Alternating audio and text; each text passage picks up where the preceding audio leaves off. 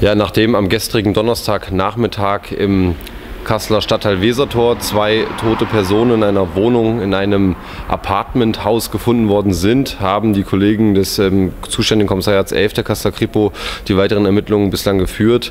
Und es ist so, dass wir nach derzeitigem Ermittlungsstand davon ausgehen müssen, dass äh, zum einen keine dritten Personen da beteiligt waren an möglichen Tathandlungen und zum anderen, dass der 19-jährige, äh, später tot in der Wohnung gefundene Mann ähm, zunächst die 19-jährige tötete und danach sich selbst das Leben nahm.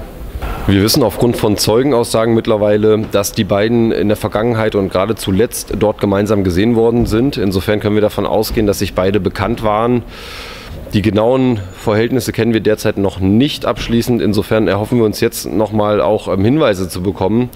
Also wenn es ähm, Personen gibt, die einen der beiden näher kannten, dann äh, würden wir darum bitten, ähm, sich bei den, bei den Kollegen zu melden, dass wir da vielleicht nochmal näheren Aufschluss dann über die tatsächlichen äh, ja, Lebensumstände der beiden bekommen können. Es ist so, dass wir derzeit davon ausgehen, dass die Frau mittels scharfer Gewalt zu Tode kam und dann der 19-Jährige offenbar auch auf diese Art und Weise sich das Leben genommen hat.